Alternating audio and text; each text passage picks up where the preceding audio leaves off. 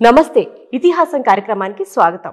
Pleach India foundation CEO doctor Emani Sivanagireddy గారు మన స్టూడియోలో ఉన్నారు. సార్ మరి ఈ రోజు ఏ ఆలయ చరిత్ర గురించి చెప్పబోతున్నారో అడిగి తెలుసుకుందాం. సార్ నమస్తే సార్. నమస్కారం అమ్మా. సార్ మరి మాకు ఈవేళ ఏ చరిత్ర ఆలయం అంటే ఏ ప్రదేశం గురించి చెప్పబోతున్నారు? ఈ ఇతిహాసం కార్యక్రమే ఆలయాలకి ఉద్దేశించింది కాబట్టి మనం హైదరాబాద్ నుంచి విజయవాడ వెళ్తున్నా విజయవాడ నుంచి హైదరాబాద్ వెళ్తున్నా సూర్యాపేట అనే ఒక పట్టణం ఉంటుంది. ఆ పట్టణానికి ఐదు కిలోమీటర్ల దూరంలో హైదరాబాద్ వైపు ఎడం కుడి వైపున ఒక ఆలయం ఉంటుంది. మనకి రోడ్డు మీదకి బోర్డు కూడా కనిపిస్తుంది. అదేమిటంటే పిల్లల మర్రి దేవాలయానికి స్వాగతం అని. మరి పిల్లల మర్రి అంటే అది ఒక ఊరు అన్నమాట ఆ ఊర్లో కొన్ని ఆలయాలు ఉన్నాయి ఇవాళ ఆ ఆలయాల గురించి తెలుసుకుందాం. సార్ అసలు పిల్లల మరి అని ఆ గ్రామానికి పేరు ఎలా వచ్చింది? చాలా ఇంట్రెస్టింగ్ అక్కడ మరి ఆ చరిత్ర ఎలా పుట్టుకొచ్చింది?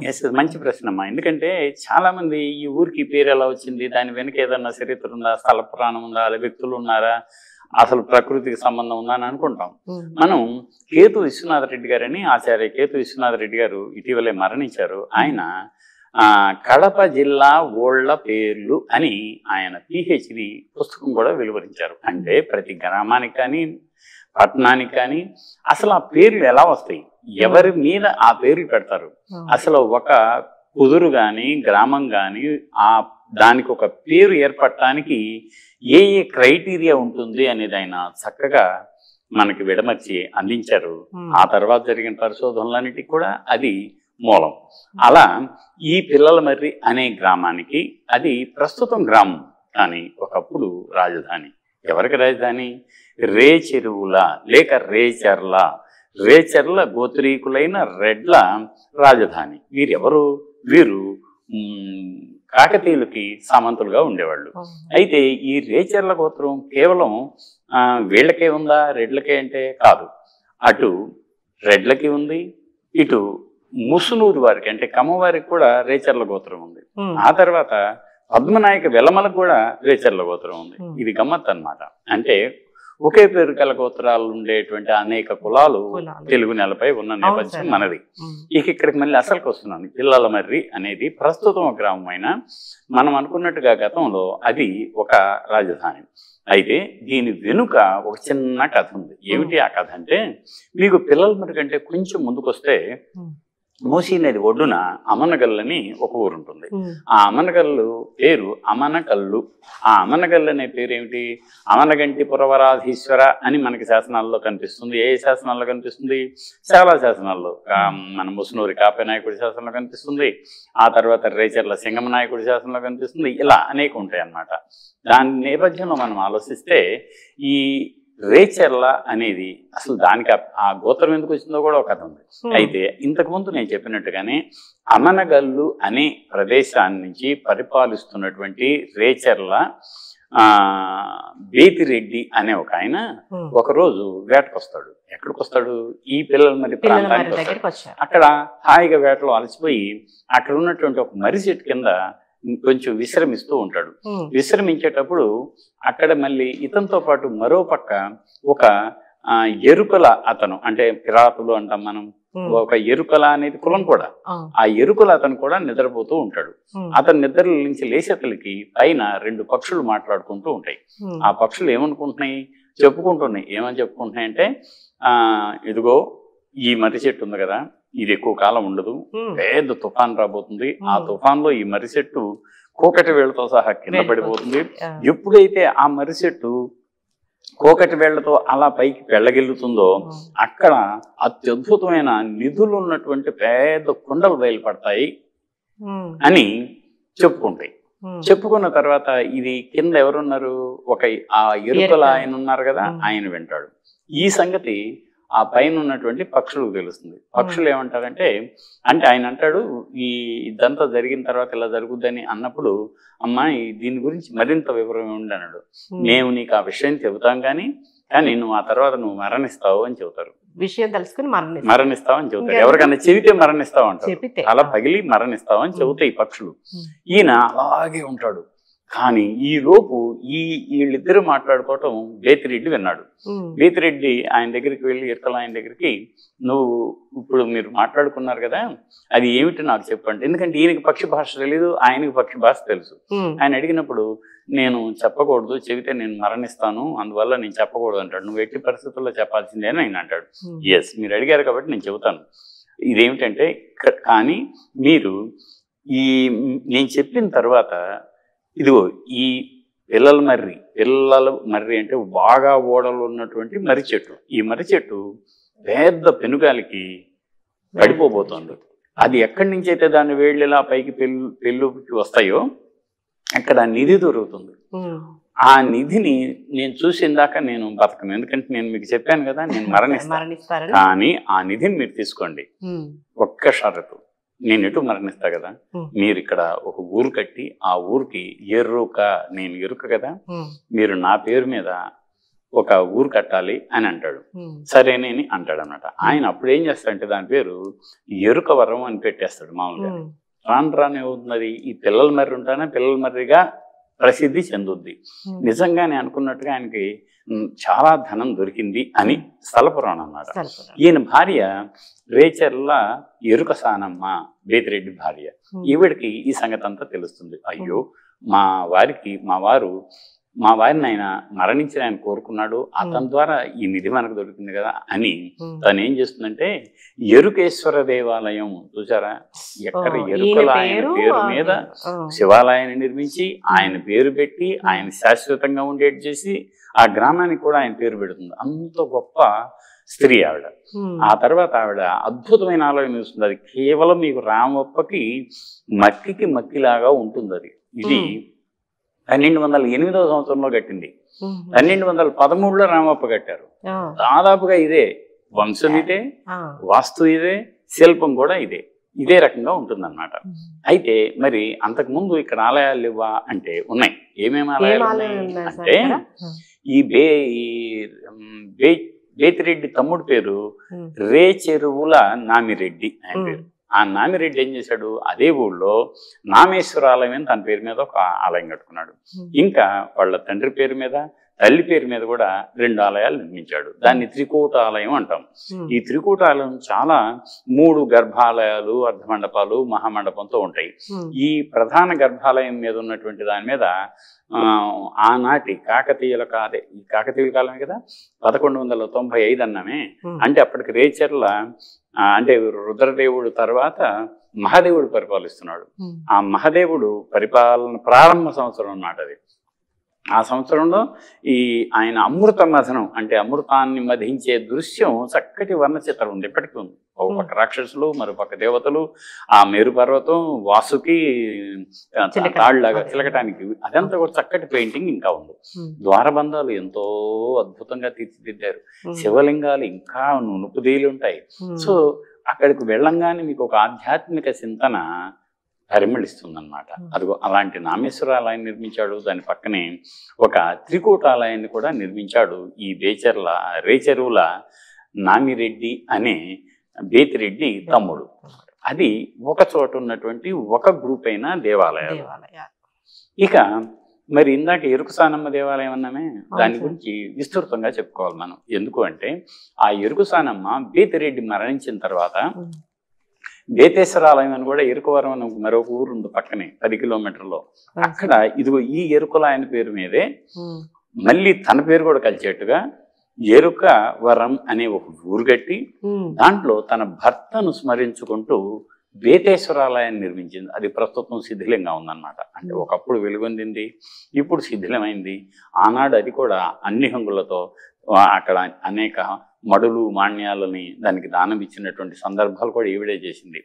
ఈ ఎరుకసానమ్మ ఎంత గొప్పది అని అంటే తన పేరు మీద చుట్టుపక్కల తాగునీటికి అవసరం సాగునీటికి కూడా పంటలు బాగా పండాలి రైతులు హాయిగా ఉండాలి సుభిక్షంగా ఉండాలి తాను ఈ సిరి సంపదలతో ప్రజలంతా కూడా తొలగిపోవాలి అన్న ఉద్దేశంతో ఒక పెద్ద సముద్రాన్ని తవ్వించింది. ఆ సముద్రం పేరు ఎరుక సముద్రం. ఇప్పటికీ ఉంది. పిల్లలమరిలో ఉన్న చెరువు పేరు ఎరుక సముద్రం. కానీ గ్రామం పేరేమో ఆ, పిల్లల మరిగానే ఉంది. ఆ పిల్లల మరిలో మరి ఆనాటి శారతర కాని వాళ్ళు ఏమైనా ఉన్నాయా అంటే ఇప్పుడు నేను చెప్పినట్టుగా ఈ ఆలయాలే. ఈ ఎరుక ఎరుకసానమ్మ ఆలయం నామేశ్వరాలయం త్రికూటాలయం. మరి ఇంత అనుకుంటున్నాము మనం. అస్సలు ఇంత ఇంపార్టెంట్ అయ్యి ఆ ఎక్కడో అమ్మనగల్లు లో రాజధానిగా పరిపాలిస్తున్న ఆయన ఇక్కడ నిధులు దొరికి ఇక్కడ దీన్ని ఒక రాజధానిగా తీర్చిదిద్దిన తర్వాత. అతను మరి ఏ ఆలయాలు కట్టలేదా అని అంటే తనేమో తన రాజ్యాన్ని సుస్థిరం చేసుకోవటంలో నిమగ్నమే ఉండగా. తన తమ్ముడు ఆ ఆలయ సముదాయాన్ని నిర్మిస్తే. తన భార్య ఇక్కడే పిల్లలమరిలోనే ఎరుకు స్నానం ఆలయాన్ని అటుపక్కన ఎరుకవరంలో ఉమ్. బేత బేతేశ్వర ఆలయాన్ని బేతేశ్వర నిర్మించింది అనమాట. ఇది ఒక విషయం అయితే ఇప్పుడు ఈయన ఒక ఎవరు? ఈ నామిరెడ్డి ఉన్నాడు కదా ఈయన తమ్ముడు. ఈ నామిరెడ్డికి మేనల్లుడు ఒకడు ఉన్నాడు వాడి పేరు ప్రోలుడు. ఏమిటి? ఆ రోజుల్లో ప్రోలుడు ఉంటారు కదా కాకతీయ ప్రోలరాజు ప్రోలయ వేముడు ప్రోలయ వేమారెడ్డి అది ఒక కామన్ టర్మినాలజీ అన్నాడు పేర్లు అప్పుడు అట్లా ప్రోలా అనేది ఉండేది యాక్చువల్గా అయితే ఈ ప్రోలుడు అనేవాడు ఏం చేశాడు? తను మళ్ళీ ప్రోలేశ్వరాలయం తన పేరు మీద ఒక ఆలయం నిర్మించుకున్నాడు. వాళ్ళ పేరు మీదే? నిర్మించుకున్నాడు. ఎరుక స్నానం కూడా ఊరుకోకుండా మళ్ళీ ఒక మూడు గుళ్ళు కట్టింది. ఉమ్. వాటి పేరు ఏమిటి? వాళ్ళ అమ్మ పేరు మీద నాయన పేరు మీద తన పేరు మీద. ఉమ్. మూడు ఆలయాలు ఆవిడ. నిర్మించుకుందన్నమాట. ఇలా తన భర్త పేరు మీద. భర్త పేరు మీద. ఇలా ఆలయాల నాడు నిర్మించుకోవటం అనేది ఒక సంప్రదాయం. సప్త సంతానాల్లో ఒకటి అని అంటాం కాబట్టి మనకి ఆనాడు ఉన్నటువంటి సనాతన ధర్మ పరిరక్షణే కాకుండా. కొనసాగించటం సంస్కృతి సంప్రదాయాలని ముందుకు తీసుకెళ్ళటంలో భాగంగా. ఆలయాలు నిర్మిస్తారు. ఒక్క ఆలయాన్ని నిర్మించటం వల్ల అందులో శిల్పులు పనిచేస్తారు. అనేక మంది కూలీలు దాంట్లో పనిచేస్తారు. అదే కాకుండా ఆ తర్వాత స్థానాధిపతులు అర్చకులు పరిచారికలు ఆ అనేక మంది సేవకులు ఆ ఆలయం చుట్టూ ఉంటారు. సంగీతకాండ్రు ఉంటారు వాద్యకాండ్రు ఉంటారు నృత్యకాండ్రు ఉంటారు అనేక రకాలైనటువంటి కాగడాలు పెట్టేవాళ్ళు ఉంటారే. ఇలా అది ఒక వ్యవస్థ అన్నమాట. ఆలయాలు ఆ రోజుల్లో ఒక బ్యాంకుల్లాగా పనిచేసాయి. అందరి డబ్బు అక్కడ దాచుకునేవాళ్ళు. అవి వడ్డీలకు కూడా ఇచ్చేవి. ఆ వచ్చిన వడ్డీతో మళ్ళీ గ్రామం ఉపయోగానికి వాడుకునేవాళ్ళు. ఇది ఎవరిష్టం వచ్చినట్టు వాళ్ళు వాడుకోవడానికి లేకుండా పద్దెనిమిది రకాల కులాలకు సంబంధించిన ట్రస్ట్ బోర్డు ఉండేది ఆ రోజుల్లో అన్ని కులాలకి. ట్రస్ట్ బోర్డులో ఏకాంగీకారం దొరికినప్పుడు మాత్రమే ఆ ఆలయాలకు సంబంధించిన ద్రవ్యాన్ని వినియోగించుకునేవాళ్ళు అన్నమాట. ఇలా ఇది ఒక ఒక రకంగా మనం చెప్పుకోవచ్చు. ఇంకా శిల్పం. శిల్పం సంపద మనం అనుకున్నట్టుగా ఒక్కొక్క రాజవంశానికి ఒక్కొక్క శిల్పం ఉంటుంది. వీళ్ళు అసలు ప్రారంభంలోనేమో కళ్యాణి చాళుక్యులకి బిగినింగ్లో ఎప్పుడో రాష్ట్రకూటులకి ఆ తర్వాత కళ్యాణి చాళుక్యులకి వీళ్ళు సామంతులుగా ఉన్నారు. వీళ్ళు నిర్మించిన తొలి ఆలయాలన్నీ కూడా కళ్యాణి చాళుక్య సంప్రదాయానికి చెందినట్టుగా ఉంటాయి. మలి ఆలయాలన్నీ కూడా అంటే యమనగల తర్వాత నిర్మించిన ఆలయాలన్నీ కూడా. కాకతీయుల ఆలయాలు ఎలా ఉన్నాయో అలాగే ఎత్తైన ఉపపీఠం చుట్టూ ప్రదక్షిణా పదం. దాని మీద ఒక అధిష్టానం. దానిపైన స్తంభాలు ఆ స్తంభాలకు చుట్టూ మళ్ళీ కోష్టాలు. దాని మీద మళ్ళీ విమానాలు. ఆ విమానంలో మనం అనుకున్నట్టుగా రామప్ప శిఖరం పైన తేలి ఆడే ఇటుకలతో నేలపై తేలి ఆడే ఇటుకలతో ఎట్టగట్టారన్న అదే రకం మళ్ళీ విమానం ముందుకు పొడుచుకొచ్చేటువంటి సుఖనాసి సో ఈ ఆలయ వాస్తుశిల్పం అంతా కూడా ద్వారబంధాలు చూడండి విడి శిల్పాలు చూడండి శివలింగాలు చూడండి ఏదైనా కూడా. ఎందుకు అంటే వీళ్ళ ప్రభువులు కాకతీయులు. మనం ఇప్పటికి కూడా ఇప్పుడు నేను నా మీద ఒక ఆఫీసర్ ఉంటాడు Hmm. నేను దాదాపుగా ఆ ఆఫీసర్ యొక్క అడుగు ఇన్ ది సెన్స్ ఆయన భావజాలానికి తగ్గట్టుగానే నేను పనిచేయాలి. న్యాచురల్గా అలాగే ఉంటుంది ఎక్కడైనా ఇలాగే కాకతీయులకు ఒక శైలి ఉంది కాబట్టి వాస్తు శైలి ఉమ్. అదే వాస్తు శైలిని అనుసరించి వీళ్ళ ఆలయాలను కూడా తీర్చిదిద్దుకున్నారు Hmm. అయినా మీకు కాకతీయ వాస్తు శైలి కంటే ఇది ఏమైంత భిన్నం కాకపోయినా మనం గుర్తుపెడితే కాకతీయ సామంతుల్లో రకరకాలుగా ఉన్నారు. మల్యాల విరియాల గోన ఇట్లా ఒక్కొక్క రాజవంశం సామంత రాజవంశాలు ఉన్నాయి కదా? వాళ్ళందరూ కూడా ఒక్కొక్క శైలి ఉంటుంది అన్నమాట అలాగే ఈ ముందు అమనగల్లు ఆ తర్వాత పిల్లల మర్రి ఆ తర్వాత మళ్ళీ ఎలకతుర్తి అని అటు వెళ్ళారు వరంగల్ ప్రాంతంలో. నర్సంపేట ఏరియాలో ఉన్న ఎలకతుర్తి. ఇలా ఏ ఒక్కొక్క ప్రాంతానికి వెళ్ళి కాకతీయులకి వీళ్ళ సేవలను అందిస్తూ వాళ్ళ మెప్పు పొంది వాళ్ళ ద్వారా ఈ చిన్న చిన్న ఆ, సీమల్ని అంటే రాజ్యాలు అని అనలేం మనం. వాటిని పొంది ఇలా సనాతన ధర్మానికి వారి వంతు వాళ్ళు కృషి చేశారు. సార్ మరి ఇక్కడ శాసనాలు ఏం దొరకలేదా? అయ్యో ఎందుకు లేవు? ఇందాక. మనం. అనుకున్నట్టుగానే ఇక్కడ మొత్తం ఒక మూడు శాసనాలు ఉన్నాయి. ఒకటేమో పదకొండు వందల తొంభై ఐదు నాటి. రేచర్ల నామిరెడ్డి శాసనం. మరో శాసనం ఈ రేచర్ల బేతిరెడ్డి భార్య ఎరుకసానమ్మ ఉమ్, పన్నెండు వందల ఎనిమిదో సంవత్సరం వేసిన శాసనం. మరొక శాసనం ఏమైందంటే గమ్మత్తు. ఈ చరిత్ర నడుస్తూ ఉన్న కొందికి ఇదిగో ఈ రేచర్ల సామంతులు కాకతీయులు ఉన్నంత వరకు ఉన్నారు. పదమూడు వందల ఇరవై మూడో సంవత్సరంలో కాకతీయ సామ్రాజ్యం పతనమైన తర్వాత ఈ ఏరియా అంతా కూడా ఢిల్లీ సుల్తాన్లో వశమైంది అయినప్పుడు మనందరికీ తెలుసు ఎక్కడైనా అప్పటి వరకు సాగినటువంటి ఈ ఆర్ష సంస్కృతి అనండి సనాతన ధర్మం అనండి ఒక్కసారి ఆ, ఉమ్, అది కొత్త సంస్కృతి వచ్చింది. ఈ ఆలయాలన్నీ కూడా ఆ, ఆదరణ కోల్పోయాయి. కోల్పోవటమే కాదు ఆలయాల మీద కొన్ని దాడులు కూడా జరిగాయి. దాడి జరిగినప్పుడు ఎరుకసానమ్మ దేవాలయం ఈ ఎరుకేశ్వర దేవాలయం యొక్క శిఖరం. కొంచెం భిన్నమైంది. ధ్వంసమైంది. అలా ధ్వంసమైనటువంటి ఆలయాన్ని ఈ కాకతీయుల అనంతరం రెండు సంవత్సరాల తర్వాత ముసునూరు ప్రోలయ నాయకుడు ఈ ప్రాంతాన్ని అంతా పరిపాలించాడు ఆయన తర్వాత వచ్చిన కాపయ నాయకుడు కూడా కేవలం తీరాంధ్రాన్నే కాకుండా వరంగల్ని కూడా జయించి తెలంగాణని కూడా పరిపాలించాడు ఆయన. అదిగో ఆయన సేవకుడు మళ్ళీ వీళ్ళు అయిపోయారు అప్పటికే. ఎవరైపోయారు? ఈ రేచర్ల వంశం లేదు.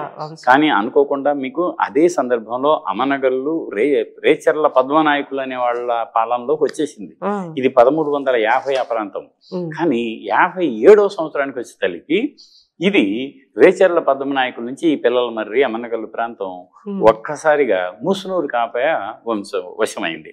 ఈ ముసునూరు కాపయ నాయకుడు అక్కడ ఒక ఎర్రపోతు లెంక అనేటువంటి ఒక తనకు నమ్మిన బంటును ఒక ఆయన్ని లెంక అంటారు. లెంక అంటే బాగా పర్సనలైజ్డ్ బాగా అంగరక్షకుల టైప్ అన్నమాట. ఉమ్, వాళ్ళ కొద్దిగా హోదా కూడా ఉంటుంది. అది ఆయన అమనగల్ నుంచి పరిపాలిస్తున్నాడు. ఆయన పదమూడు వందల యాభై ఏడో సంవత్సరంలో ఒక శాసనం వేశాడు. ఏమనేశాడు?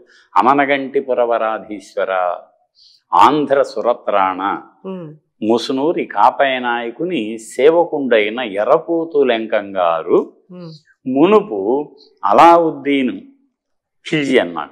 ఆయన దాడి చేసినప్పుడు ఆలయం శిథిలమైపోగా దాన్ని బాగు చేయించాను ముసునూరి కాపై నాయకునికి పుణ్యంగా అని క్రీస్తు శకం పదమూడు వందల యాభై ఏడో సంవత్సరం నాటి శాసనం ఇప్పటికీ అక్కడే ఉంది. దాని అర్థం ఏమిటి అంటే ఒకప్పుడు ఉజ్వలంగా వెలుగొందిన ఆలయాలు మరో రాజకీయ నేపథ్యంలో ఆదరణ సన్నగిల్లింది ఆ తర్వాత మళ్ళీ వాటిని పూర్వ వైభవం తీసుకురావటానికి సనాతన ధర్మాన్ని పునఃప్రతిష్ఠించడానికి ఈ వీళ్ళంతా కూడా కృషి చేసినటువంటి ఆనవాళ్ళు మనకి పిల్లల మల్లి శాస్త్రాల ద్వారా తెలుస్తుంది సార్ మరి ఇన్ని ఆలయాలు నిర్మించడం ఎంత కష్టపడి చేశారు కదా వీళ్ళందరూ ఈ వారసత్వం అంటే వాళ్ళు ఎవ్వరు పూర్వీకుల విగ్రహాలు పెట్టుకోవడం ఆ, అలాంటి. ఆలోచన? రోజుల్లో ఏమైందంటే ఒకటి మీరు చాలా మంచి ప్రశ్న వేశారు. చాలా మంది ఈ రోజుల్లో అయితే పది రూపాయలు మనం డబ్బులు ఇచ్చి వంద రూపాయలు ప్రచారం చేసుకుంటాం దానం చేస్తే. అలా ఆనాడు అలా లేదు. వాళ్ళు. ఏమనుకున్నారు? ధర్మం ముందు కొనసాగితే చాలు. అయ్యో ఈ ధార్మిక కార్యక్రమంలో నా వంతు పాత్ర నేను పోషించానే నేను ఎక్కడో వెనుకుంటాను. నేను ఇది ఒక ఎప్పటి నుంచో వస్తున్న సంస్కృతి సంప్రదాయాల పరిరక్షణలో భాగంగా చేస్తున్నాను నేను. నేను ముఖ్యం కాదు. అదిగో ఆ ధర్మం ముఖ్యం. దానం ముఖ్యం ఈ కార్యం ముఖ్యం అని అనుకునేవాళ్ళు వాళ్ళు. అలా ఉన్న నేపథ్యంలో ఏమైంది అంటే ఎందుకు పేర్లు ఎక్కువ వీళ్ళ పేర్లు శాసనాల్లో ఉన్నాయి. కానీ ఎందుకు? అది కూడా దానం చేసిన సందర్భాన్ని పురస్కరించుకొని వేశారు. ఆ, దానాన్ని ఎవరు చెడగొట్టకూడదు. ఈ ఆలయం ఇలాగే నిత్యము అందులో నైవేద్యాలు ఆ అర్చన కార్యక్రమాలు కొనసాగాలి అని దానికి భంగం కలగకుండా. అయితే చెక్కిన ఆలయాన్ని చెక్కి నిర్మించిన శిల్పి. ఎక్కడో కొన్ని కొన్ని సందర్భాల్లో ఉంటాయి తప్ప ఇప్పుడు మీకు ఇలాగే అటు కట్టించిన యజమాని పేరు కానీ లేక నిర్మించిన స్థపతి పేరు కానీ ఉండవు మనకి. ఉదాహరణకి రామప్ప దేవాలయాన్ని రామప్ప అనే శిల్పి నిర్మించాడు అని అంటాం. కానీ దాన్ని నిర్మించింది ఎవరు? ఇదే రేచర్ల వంశానికి చెందినటువంటి. రేచర్ల రుద్రరెడ్డి అని ఆయన నిర్మించాడు. కానీ పేరు ఎలా వచ్చింది మనకి? శిల్పి పేరు మీద పేరు ఆలయానికి. పేరు వచ్చింది అంటారే ఎక్కడ దాకా ఎందుకు? హొయసల కాలంలో ఆ. అమరశిల్పి జక్కన్ అనే పేరు మనం విన్నాం సినిమా. కూడా చూసాం మనం సార్ అమరశిల్పి జక్కన్ ఉంటాడు అద్భుతమైన దేవాలయం నిర్మిస్తాడు తర్వాత ఆ ఆలయంలో లోపం ఉందని తన కొడుకు వస్తాడు కొడుకు. వచ్చిన తర్వాత దాన్ని పగలగొట్టి చూస్తే ఆ రాయిల నుంచి ఒక చిన్న కప్పు వస్తుంది. అదంతా కూడా చాలా జనాన్ని సంభ్రమాశ్చర్యాలకు గురి చేసేటువంటి ఆ. ఇతివృత్తాలు ఈ ఆలయానికే కాదు మీకు. సింహాచలాయానికి అలాంటి కథే ఉంది. తర్వాత కోణార్క దేవాలయానికి శిల్పి శిల్పి కొడుకు వీళ్ళకి సంబంధించిన కథ ఉంది. ఇలా అనేక రకాలైనటువంటి కథలు కొన్ని ప్రచారంలో ఉన్నాయి. కొంతమంది పేర్లు మాత్రం మనకి శాసనాల్లో మిగిలి ఉన్నాయి. అలాగే ఇట్లా ఎరుకు స్థానం లేదు. కానీ విజయనగర కాలంలో. వాళ్ళ యొక్క ఈ కృష్ణదేవరాయల బొమ్మలు ఉన్నాయి. అచ్యుత దేవరాయల బొమ్మ ఉంది. ఇలా కొన్ని కొన్ని రాజ పురుషు విరుపన్న లేపాక్షి దేవాలయాన్ని నిర్మించిన విరుపన్న ఆయన బొమ్మ మనకు ఎక్కడ దొరుకుతుంది? లేపాక్షిలో ఉంది. పైన వర్ణచిత్రాల్లో పక్కనే ఉన్నటువంటి కొంత దూరంలో. చలివిందులు అని ఒక ఊరు ఉంటుంది. ఆ చలివిందుల్లో ఈ లేపాక్షి దేవాలయానికి ఆయన ఇచ్చిన దానాన్ని పురస్కరించుకొని ఆయన సాష్టాంగ దండ ప్రమాణం చేస్తున్న రేఖా చిత్రం ఉంది. దాని మీద విరూపన్న అని రాసి కూడా ఉంది. అలా కొంతమంది మాత్రమే అలా చెక్కించుకున్నారు. ఇక్కడికి వచ్చే తలకి ఈ వీళ్ళ వీళ్ళు కానీ అంతకుముందు రాజులు కానీ ఎక్కడా లేదు కేవలం. మరో సందర్భంలో కోరుకొండ అని ఉంది మీకు రాజమండ్రి పక్కనే ఆ, కోరుకొండ దగ్గర ఉన్నటువంటి నృసింహాలయం కోరుకొండ నరసింహ. దేవాలయం ఉంటాం కదా. ఆ దేవాలయంలో ఆ కోరుకొండను నిర్మించినటువంటి ఆ రాజుల పేర్లు రాజులు రాణులు కూడా. మీకు దాంట్లో శిల్పాలుగా చెక్కి స్తంభాల మీద శాశ్వతంగా ఉంచుతున్నారు కొంతమంది కోరికలు అలా ఉంటాయి మరి అట్లాగే కృష్ణదేవరాయలది మరో బొమ్మను మీరు ఎక్కడ చూడవచ్చు ఎక్కడంటే నటరాజస్వామి చిదంబరంలో చూడవచ్చు చిదంబరం చిదంబరంలో మీకు ఉత్తర వైపు ద్వారం మీద శ్రీకృష్ణదేవరాయలు బొమ్మతో కూడా ఆయన పేరు కూడా ఉంటుందన్నమాట. అలా కొన్ని కొన్ని సందర్భాల్లోనే ఆ, ఈ యజమానులు అనుకోనండి పోషకులు అనుకోనండి దాతలు అనుకోండి కర్తలు అనుకోండి వీళ్ళకి సంబంధించిన బొమ్మలు బొమ్మల కింద వాళ్ళ పేర్లు ఉంటాయి. వీళ్ళు వేయించుకోవాలి. ఎందుకంటే అప్పటికే వీళ్ళు సామంతులు. సొంతంగా పేరు వేయించుకున్నా విగ్రహాలు చెక్కించుకున్నా మళ్ళీ రాజు అనుమతి లేదు కదా అని అనుకోనో ఏమో. అసలు కాకతీయులే వాళ్ళ పేర్లు ఎక్కడ చెక్కించుకోవాలా. ఎక్సెప్ట్ శాసనాల్లో ఆ దానం చేసింది కట్టింది పేర్లు మెన్షన్ చేసుకున్నారే తప్పితే. వాళ్ళ విగ్రహాలు చెక్కించుకున్న ఆధారాలు మనకి ఇంతవరకు సార్ మరి ఆలయ విశేషాలు అయితే చెప్పారు. అదే ఆ ప్రాంతానికి ఇవన్నీ ఉన్నాయి. కానీ అదే ఆ రాజుల గురించి చెప్పారు పాలన గురించి చెప్పారు విగ్రహాల గురించి చెప్పారు. మరి ఇది పర్యాటక కేంద్రంగా ఎందుకు చేయలేదంటారు? చేశారు. అంటే. ఇప్పటికే దాదాపుగా కొద్దో గొప్ప తెలిసిన వాళ్ళు ఆ, అక్కడికి అనునిత్యం వెళ్తూ వస్తూనే ఉంటారు. కానీ బాగా రద్దీగా ఉండే పర్యాటక ప్రాంతంగా ఇంకా కాలేదు. కావాలి. అంటే దానికి కొంత ప్రచారం చేయాలి. ఏం చేయాలంటే గతంలోనే స్టూడెంట్స్ని స్కూళ్ళల్లో అంటే నల్గొండ జిల్లాలో అప్పటి నల్ ఉమ్మడి నల్గొండ జిల్లాలో స్కూళ్ళల్లో టూరిజం క్లబ్స్ అని పెట్టారు. ఈ క్లబ్స్ కొంతమంది విహారయాత్రలకు ఎక్కడికో వెళ్ళటం ఎందుకు? మనం ఇక్కడికే తీసుకొద్దామని ఈ ఆలయాలకు తీసుకొచ్చి వాటి ప్రాశస్త్యాన్ని చెప్పిన సందర్భాల్లోని ఈ పిల్లలు పోయి వాళ్ళ తల్లిదండ్రులకు చెప్తే మళ్ళీ వాళ్ళు ఎప్పుడైనా రావటం అలా కొంచెం పర్యాటకం పుంజుకున్న మాట నిజమే. అయితే అక్కడ ఏం చేస్తారంటే యాత్రికులకు మనం అనుకున్నట్టుగానే ఏదో పోవటం రావటం అంటే ఒకటి అసలు పర్యాటకం అభివృద్ధి చెందాలంటే మూడు రకాలు ఒకటి ఆ ప్రదేశానికి చాలా స్థల పురాణం గొప్పతనం ఉండాలి మహత్యం ఉండాలి. రెండు ఆ ఆలయం అత్యద్భుతంగా ఉండాలి. మూడు అందులో జరిగే అర్చనలు ఉత్సవాలు జాతరలు జాప బాగా పేరు పొందన్నా ఉండాలి.